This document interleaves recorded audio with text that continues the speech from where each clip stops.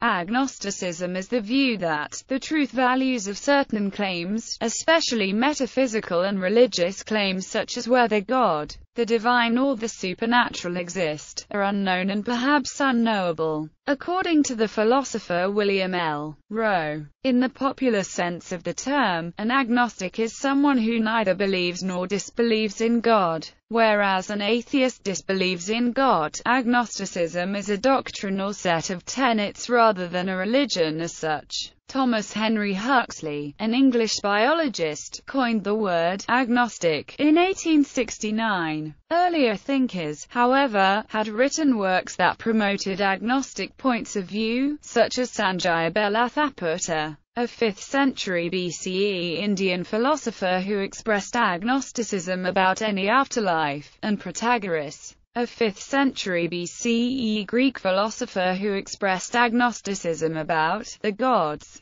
The Nasadiya Sukta in the Rig Veda is agnostic about the origin of the universe. Defining agnosticism. Agnosticism is of the essence of science, whether ancient or modern. It simply means that a man shall not say he knows or believes that which he has no scientific grounds for professing to know or believe. Consequently agnosticism puts aside not only the greater part of popular theology, but also the greater part of anti-theology. On the whole, the bosh of heterodoxy is more offensive to me than that of orthodoxy, because heterodoxy professes to be guided by reason and science, and orthodoxy does not. Thomas Henry Huxley That which agnostics deny and repudiate, as immoral, is the contrary doctrine, that there are propositions which men ought to believe, without logically satisfactory evidence, and that reprobation ought to attach to the profession of disbelief in such inadequately supported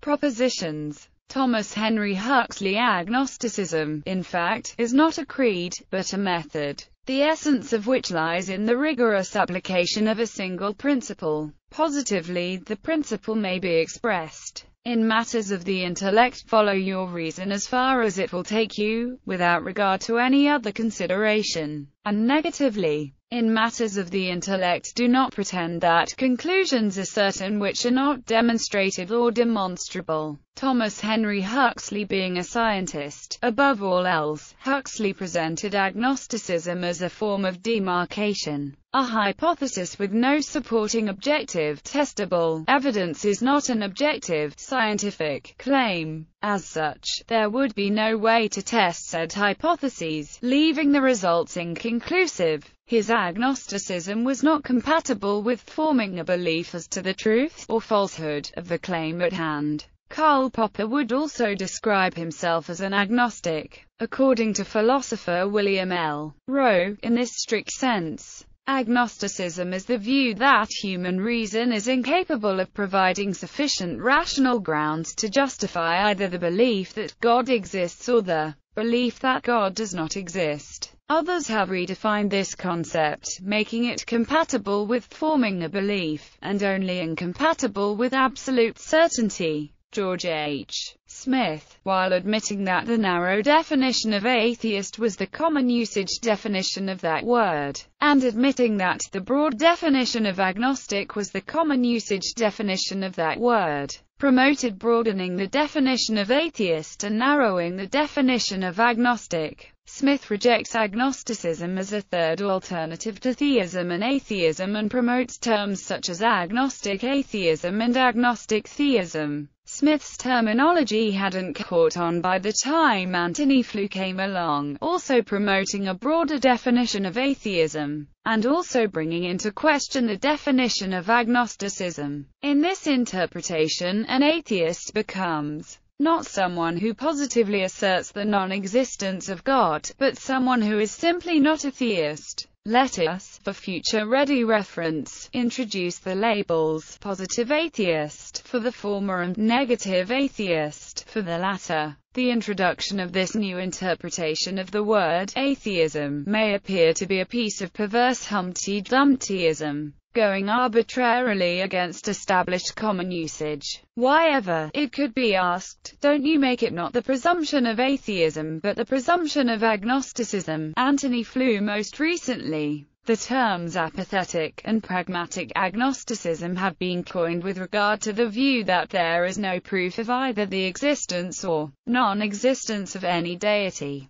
But since any deity that may exist appears unconcerned for the universe or the welfare of its inhabitants, the question is largely academic and that their existence therefore has little to no impact on personal human affairs and should be of little theological interest. Etymology agnostic, meaning without, and gamma nu sigma iota sigma, meaning knowledge, was used by Thomas Henry Huxley in a speech at a meeting of the Metaphysical Society in 1869 to describe his philosophy, which rejects all claims of spiritual or mystical knowledge. Early Christian church leaders used the Greek word gnosis to describe spiritual knowledge. Agnosticism is not to be confused with religious views opposing the ancient religious movement of Gnosticism in particular. Huxley used the term in a broader, more abstract sense. Huxley identified agnosticism not as a creed but rather as a method of skeptical, evidence-based inquiry. In recent years, scientific literature dealing with neuroscience and psychology has used the word to mean not knowable. In technical and marketing literature, agnostic can also mean independence from some parameters, for example, platform agnostic or hardware agnostic. Qualifying agnosticism Scottish Enlightenment philosopher David Hume contended that meaningful statements about the universe are always qualified by some degree of doubt.